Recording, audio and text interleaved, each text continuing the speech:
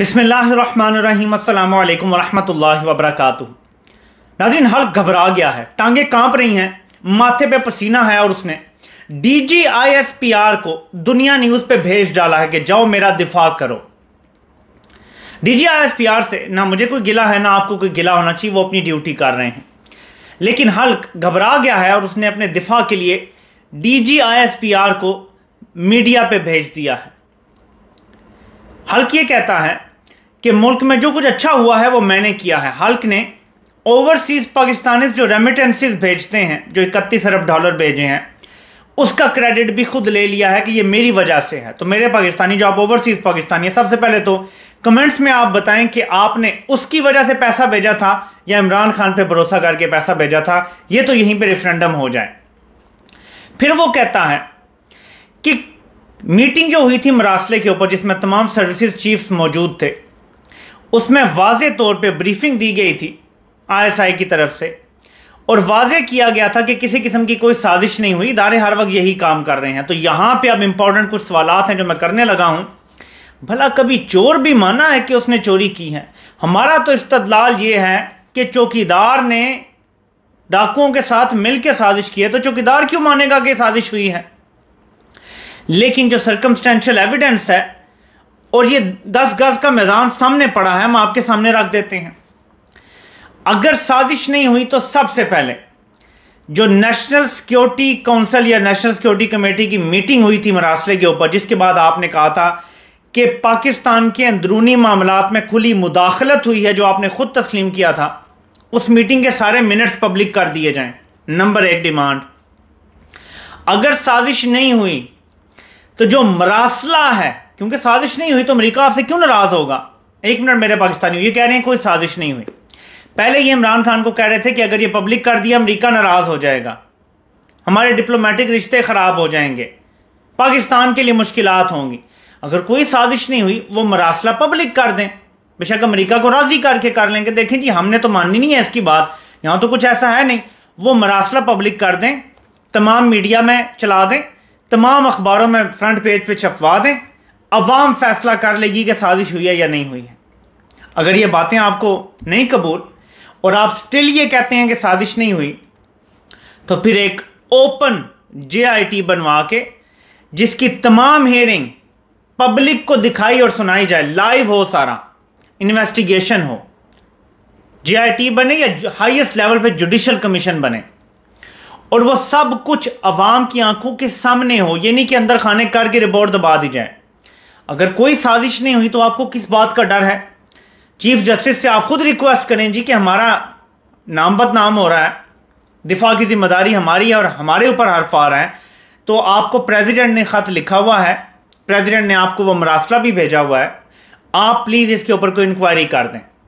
और वो inquiry public के सामने करें, वहाँ कैमरे मौजूद हों मीडिया वो दिखा रहा हो, जो भी उसकी प्रोसीडिंग्स हों, उसके बाद जो भी रिज़ल्ट आएगा, हमें पता चल जाएगा साजिश हुई है या नहीं।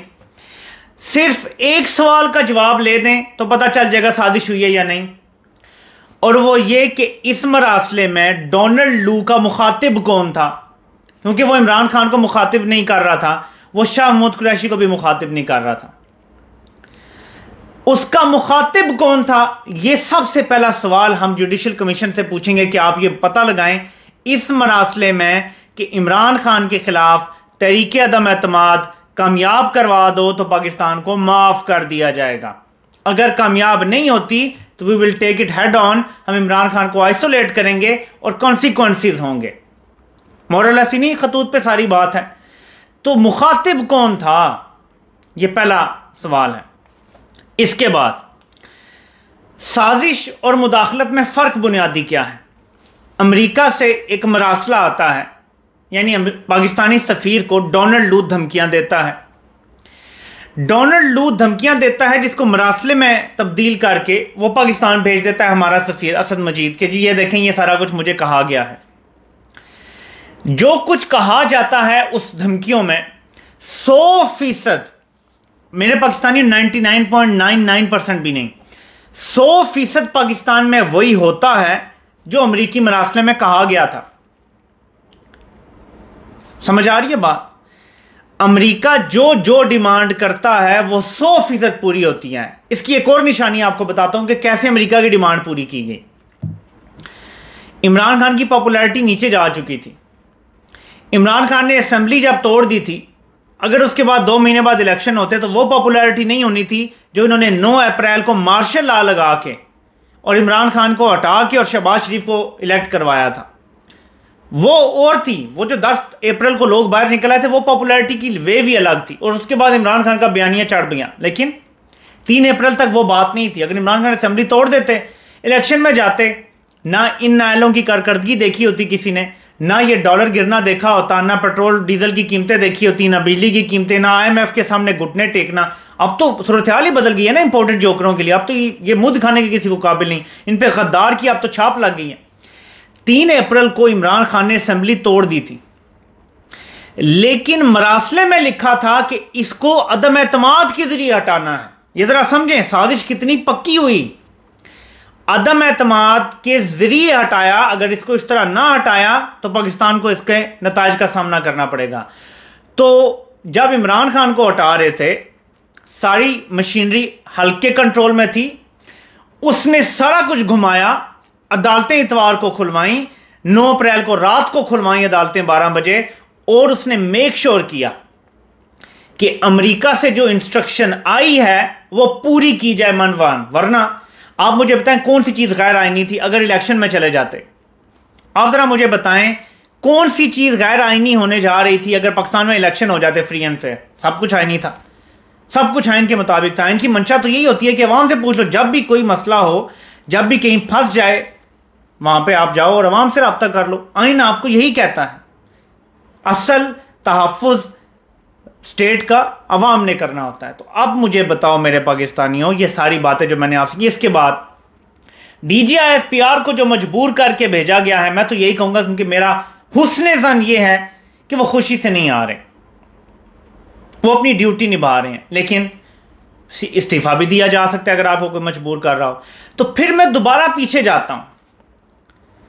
जिस तरह इन्होंने रौनत वाले अंदाज में 11 अप्रैल को प्रेस कॉन्फ्रेंस की थी 11 या 12 को, और कहा था कि कोई साजिश नहीं हुई, और देख लें आप, डॉलर भी ठीक हो गया है, स्टॉक मार्केट भी ठीक हो गई और स्टेबिलिटी वापस आना शुरू हो गई है। आपको याद है वो?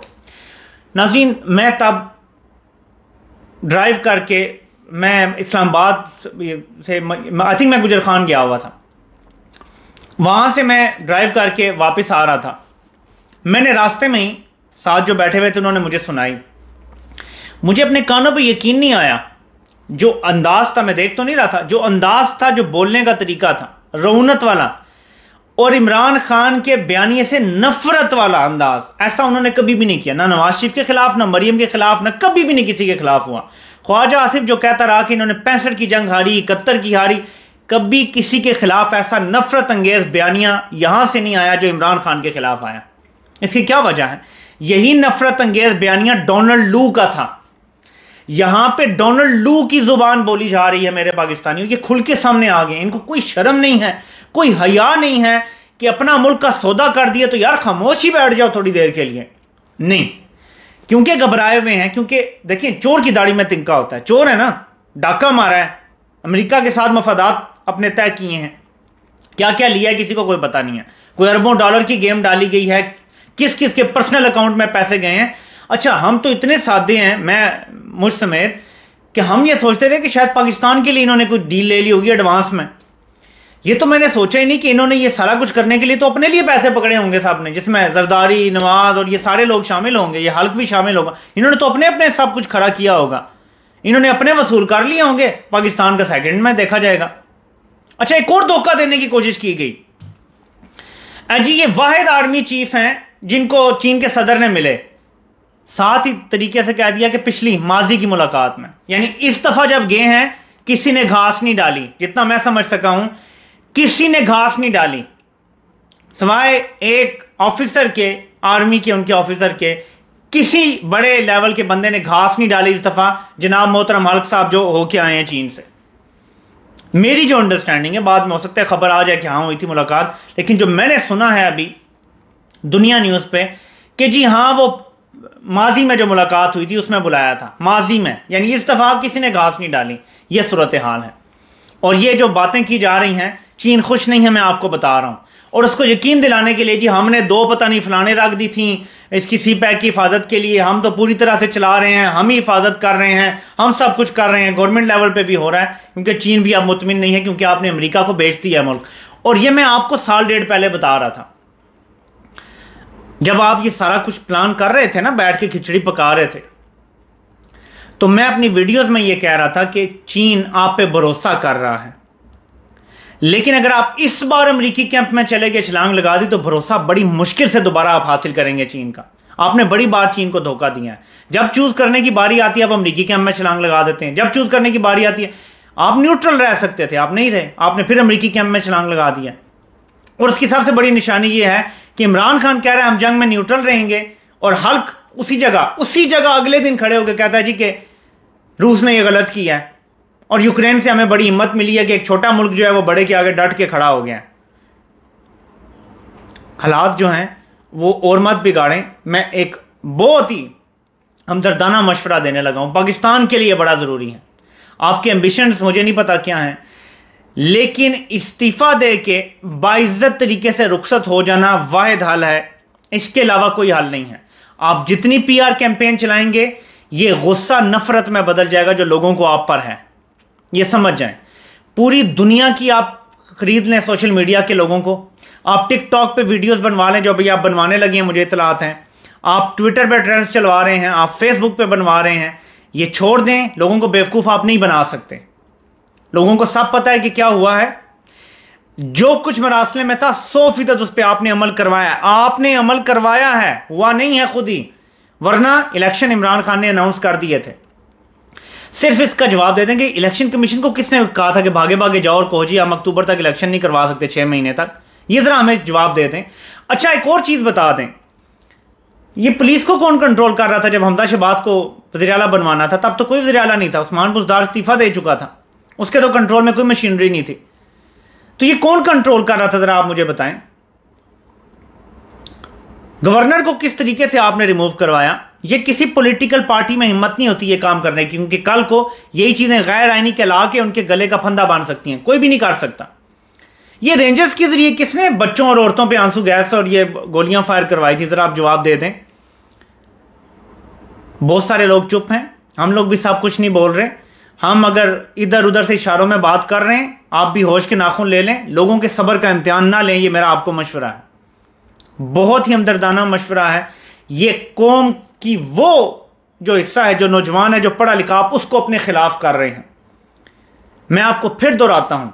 ये बलोचिस्तान के किसी दूर दराज इलाके में लोग नहीं हैं, जिनकी आवाज़ पहुंचेगी नहीं, जिन पर आप जुल्म करते रहे हैं। ये वो भी लोग नहीं हैं, जो, जिनको पीटीएम वाले गुमराह करने की कोशिश करते हैं। हम उनके भी साथ खड़े हैं, लेकिन पीटीएम वाले ऑब्वियसली उन्हें गुमराह करने के लिए वो जो हम जी तारों से लपेट देंगे और इस तरह की बातें करते हैं। तो आपको लगता है हम दबा लेंगे?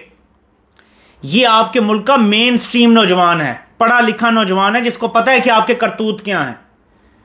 हर बंदे के पास फ़ोन है, क्या आप ये चाहते हैं कि हर बंदा इस फ़ील्ड में आ जाए? ये सिटीजन सिटीजन जर्नलिज्म का दौर है। हर बंदे ने वीडियोस बना के डालनी शुरू कर दी ना, कितनों को पकड़ेंगे? कितनों को वीगो में डालेंगे? आपके वीगो डाले, कम पड़ जाएँगे, इतने नौजवान हैं। लोगों को सुकून से इलेक्शन में जाने दें। बेहतर आपके लिए है कि आप इस्तीफ़ा दे दें। और कहें जी कि, क्योंकि मैं कंट्रोवर्शियल हो चुका हूँ, इदारे के लिए और मुल्क के लिए बेहतर है कि मैं साइड पर हो जाऊँ। और उसके बाद मैं, क्योंकि हूँ तो इन्वेस्टिगेशन भी सही नहीं हो सकेगी, मैं हट जाता हूँ, अब इन्वेस्टिगेशन कर लें। अगर कुछ इसमें मेरा किरदार होता है, मैं हाजिर हूँ। ये आपके लिए अजमत का रास्ता है।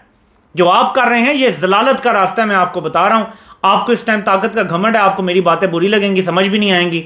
हो सकता है कि आप वही करें जो आप बाकियों के साथ कर रहे हैं, लेकिन मशवरा यही है, अगर ठंडे दिल से सोचें इस्तीफ़ा दे के आप ऐलान करें जी कि मैं अपने आप को पेश करता हूँ एहतसाब के लिए।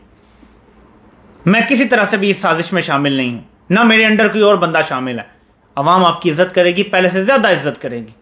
कल को दो साल बाद आप सियासत में आएँगे, हो सकता है आपको अपना उम्मीदवार मान ले अवाम। लेकिन इस तरह नहीं।